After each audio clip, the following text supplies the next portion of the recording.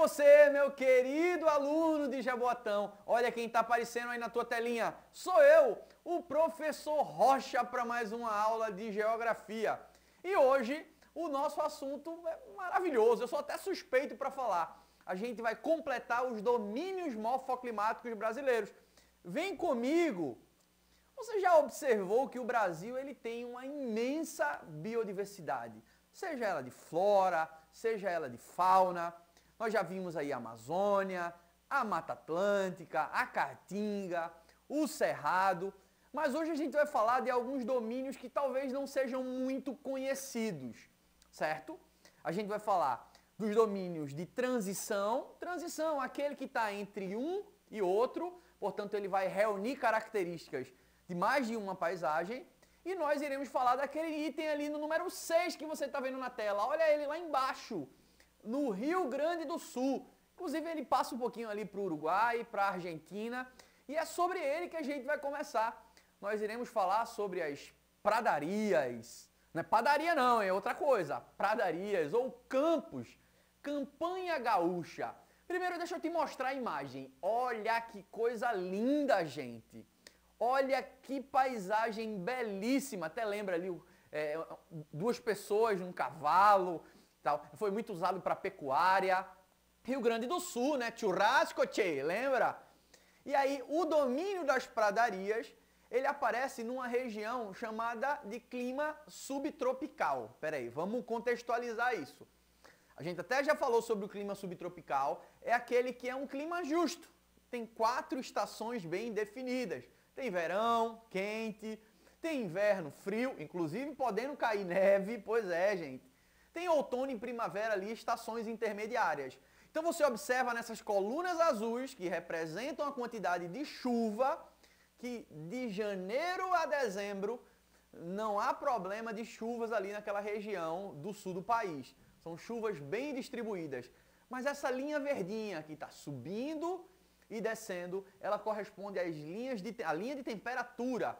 Então você já conseguiu observar que ali no período de junho, julho, agosto, essa região ela enfrenta baixas temperaturas. E aí você olha para as pradarias assim e lembra tipo uma, uma paisagem devastada ou algo desse tipo, mas não, ela naturalmente é desse jeito. Ela tem pouquíssimas espécies arbóreas, ou seja, árvores, e ela é constituída basicamente por graminhas. Grama, grama, a gente tecnicamente chama de espécie herbácea.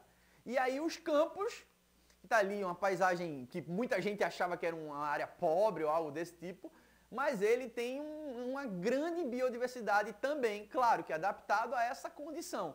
E aí eu tenho uma notícia para você, infelizmente, ó, esse bioma, embora seja pequenininho, ele ali é o bioma oficial brasileiro com o menor percentual de terras em unidades de conservação, ou seja, em áreas protegidas.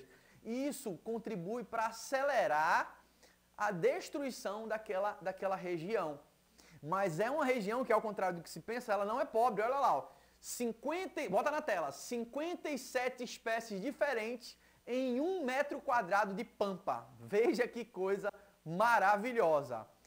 E aí, principalmente essa biodiversidade, ela está nessas regiões alagadas, que são conhecidas como charcos. Elas são ali fontes de vida, pra, tanto para a vida vegetal, quanto principalmente para a vida animal. A grande questão é que nessa região sul do Brasil, nós temos ali um celeiro agrícola importante para o nosso país. Então, muitas atividades agrícolas e pecuárias também, óbvio, são feitas ali naquela região. E aí, como é um bioma uma, uma vegetação, né, um domínio relativamente frágil, ele acaba sofrendo o impacto dessas atividades econômicas. Você está vendo esse charco, essa área alagada, chega a estar tá escuro ali, de contaminação por insumos agrícolas que são usados ali na prática, enfim, da, da, da própria agricultura. Mas uma outra, é, é, uma, uma outra paisagem brasileira, essa paisagem que você está vendo aí, ela fica nessa porção sudoeste do Brasil. É o chamado Pantanal. Esse é mais famoso, esse é mais conhecido. Inclusive nos anos 2000, veja que incrível. É, a Unesco, que é um órgão super importante no mundo, declarou que o Pantanal era a reserva da biosfera mundial. Mas veja que interessante, se você pega a localização ali do Pantanal, que vai colocar na tela, veja, acima do Pantanal nós temos a região amazônica. Do lado leste, do lado direito ali da sua tela do Pantanal, nós temos o Cerrado. Mais um pouquinho abaixo, nós temos as araucárias, temos também trechos de Mata Atlântica, a, a, os próprios campos ali embaixo. Então, o Pantanal, digamos assim, que é uma região de transição, ela é uma região misturada. Portanto, você vai encontrar tanto animais de, da Amazônia, como animais do Cerrado, plantas do Cerrado. E o interessante é que a região do Pantanal é uma região muito baixa, muito plana. Eu costumo dizer que o Pantanal é o ralo do Brasil. Sabe o ralo? O ralo do chuveiro, o ralo do banheiro? A água escorre. Pois é, imagine isso. Aquela região central do Brasil ela é formada por alguns planaltos. Então o que é que acontece? As chuvas quando caem ali naquela região dos planaltos, elas vão escoar, escorrer, né? Para o lado leste, uma parte, então são rios formados indo em direção para o Oceano Atlântico, e uma outra parte das chuvas elas vão descer para essa parte oeste. Só que não tem muito para onde ir. Já que do outro lado, embora eu tenha ali o Oceano Pacífico, mas do outro lado eu tenho a Cordilheira dos Andes, a montanha. A água não vai subir a montanha. Então ela acaba se concentrando nessa imensa planície que é a planície do Pantanal, o ralo brasileiro.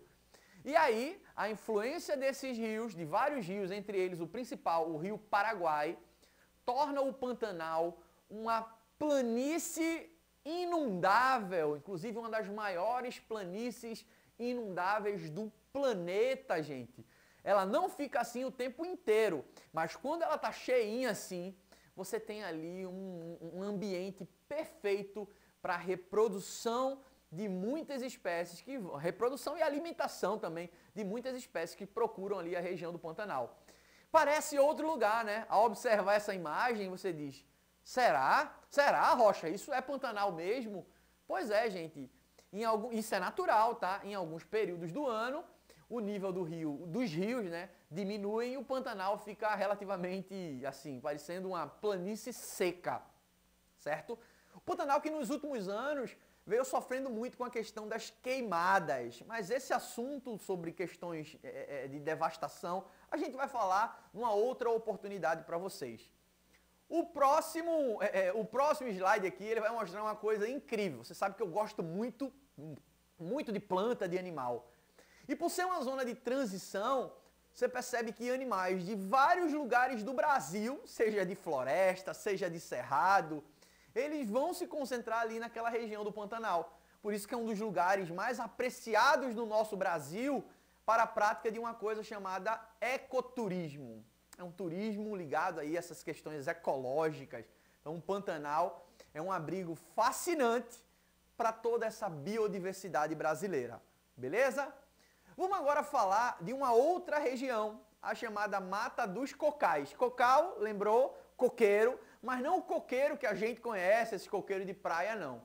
Essa região, aquele pontinho que você está vendo no mapa, põe o mapa aí na tela, aquele pontinho, você está vendo ali basicamente Maranhão, Piauí, um trechinho ali daquela região do Ceará.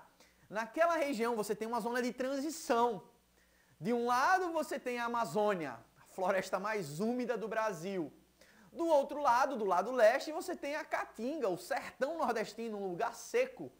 Então, digamos que o, a Mata dos Cocais está nessa transição entre o lugar mais chuvoso e o lugar mais seco do nosso país.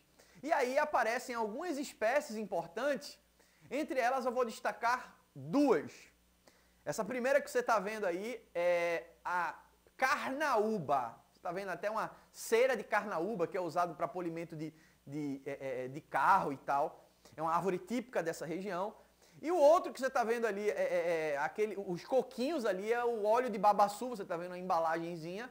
Isso é uma atividade muito importante para essa região porque é uma fonte de renda para muita gente, certo? Então as quebradeiras de babaçu, elas pegam esses coquinhos e ela tem uma atividade um pouco perigosa, né? Porque elas vão quebrando num, num, numa espécie de facão e elas tiram dessa região essa sementinha aí que você está vendo nessa imagem e aí é, dessa sementinha ela vai ser levada para a indústria e vai se extrair um óleo vegetal muito, muito bom para a indústria, para cosmético, enfim, para diversas, diversas finalidades.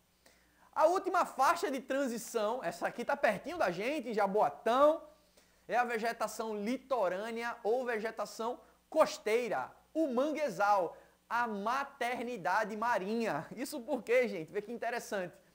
O manguezal, o ecossistema, ele está na transição entre o ambiente marinho da água salgada e o ambiente da água doce. Então é uma água salobra, depende. Do período da maré alta, a água fica mais salgada, no período da maré baixa, a água fica menos salgada, mas ali nós temos espécies, tanto do rio quanto do mar, que usam o manguezal para se reproduzir, para se alimentar. Portanto, é uma, é, é uma zona de transição mais super importante para ser preservada para a dinâmica das paisagens brasileiras.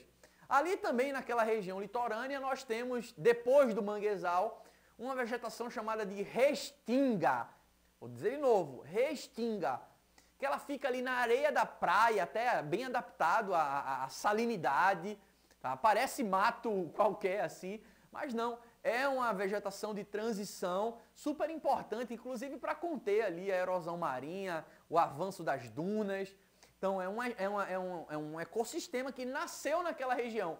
Há quem diga que tanto o manguezal quanto a, a, a, restinga fazem parte da zona da Mata Atlântica, beleza?